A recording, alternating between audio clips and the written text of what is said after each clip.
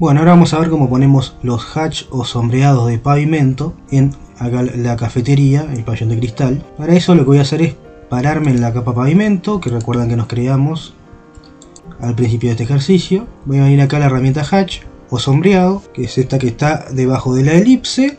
Ven que tengo el rectángulo, la elipse y aquí tengo la herramienta sombreado. Hago clic y me va a venir acá a esta barra de herramientas. Lo que voy a hacer es cliquear dentro del eh, cuadrado.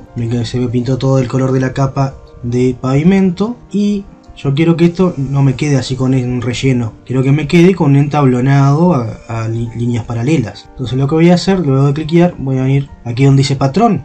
Yo abro esta pestaña y elijo que dice definido por usuario. Y ahí ven que se me generaron líneas paralelas. Ahora, estas están como muy juntas, no me sirve para un entablonado. Ustedes se fijan acá en las propiedades, ven que abajo de ángulo hay un 1, eso es la escala, que este 1 me está marcando que hay una separación de un metro entre línea y línea. Por eso ven que la separación entre las líneas paralelas dentro de la cafetería me coinciden con los eh, baldosones de afuera. Yo para acá, que el entablonado me quede como tiene que quedar, de 10 centímetros el ancho de la tabla, lo que voy a poner es sombrear ahí el 1, lo selecciono como que voy para escribirle arriba y voy a teclear 0.10 ahí le doy enter y ven que me quedó el pavimento interior ahí con el entablonado le doy escape para terminar de dibujar.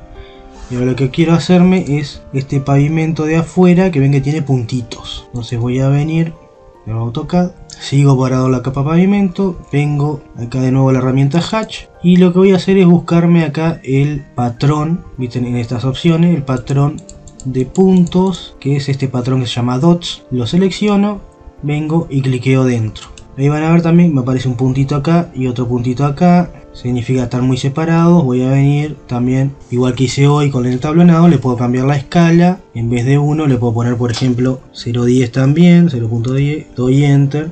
Y ven que ahí me aparecieron todos los puntitos. Doy escape, ahí terminé de dibujar. Y ahí me quedaría acá adentro el piso de la cafetería con el entablonado marcado y afuera el pavimento, ahí con ese hatch o sombreado de puntitos, dando a indicar otro tipo de pavimento como puede ser un monolítico lavado, un pavimento de hormigón, algo por el estilo.